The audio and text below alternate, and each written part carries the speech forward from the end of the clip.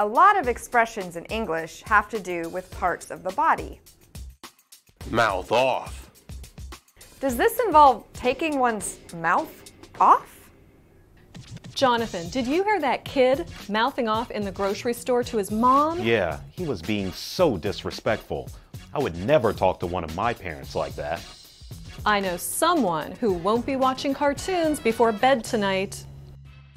To mouth off means to speak in a rude or angry way to someone in authority, such as a parent or a boss. Children who mouth off to their parents may end up being punished. The term can also mean to complain about something without thinking about whether your words may offend someone around you.